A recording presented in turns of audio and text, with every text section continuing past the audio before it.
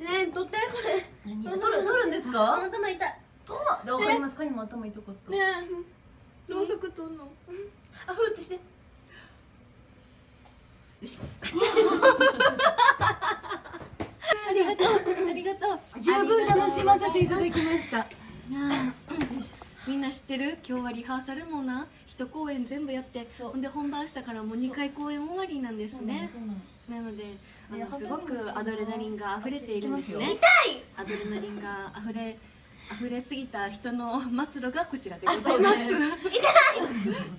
まあやりたい！やらしくなった。よやらしくない？今強引やねん。私は落ち着いてるよって。あのお前らが落ち着けよっていう感じで。いやー痛そう。頑張ね優しく取ってくれよ。うんこ取って。ってもうしょうがないな。無理やここですここ。こっちとえじゃあ多分こっちをな取らないと、なんでこんな髪したんですか？あんたもしたやん。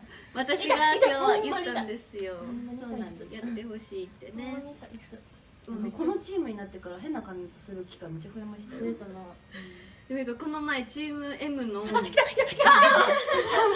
てってもうやめて夜はこれからってやってやってやってやってやってあ盛り上げるまだまだいくよこっちが一番冷静やからなそう一番落ち着いてて素晴らしいみんな大好き素晴らしいですすいませんけど今一旦優しく取ってって。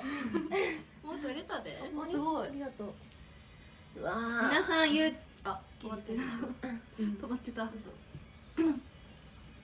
さあということでこちらゆうちゃんの髪の毛をくくってたゴム。ゴムでございます。はい、千円からスタートです。はい、出して出して出し。て。誰がこれに1000円出すの私のファンの人で出すかもしれへん。やめなさいやめなさい。ダメダメダなんかメついてきた。いやいや。てかもうほぼユーミンさんの木よりあのエクステの木じゃないですか。ね逆にあのもらうから金欲しいっていうあれですよ。確かに。100円くれたらもらっときますみたいな。なあ。れ？頭働いてなんで臭いもの流れてんの？練習してんじゃないですか？あの私のテーマソングやから流れてる。なるほどね。あ千一円やって。こんなんしてもエクステ取れないのすごいですね。やば？小さいな。五千円って言ってる。あーみんなパワーと参加してくれてんの？あ、参加してくれてた。千十二円。ファントムさんほのちゃんやっさんまっちゃん白玉さん